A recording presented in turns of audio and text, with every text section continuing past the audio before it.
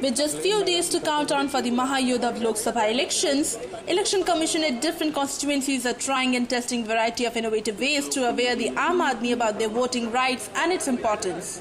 At Sonia Gandhi's constituency, Raebareli, District Election Officer Aditi Singh organized a kite flying competition with awareness program about voting rights. इसमें जो संदेश है कि 30 अप्रैल को आप अपने मताधिकार का प्रयोग अवश्य करें।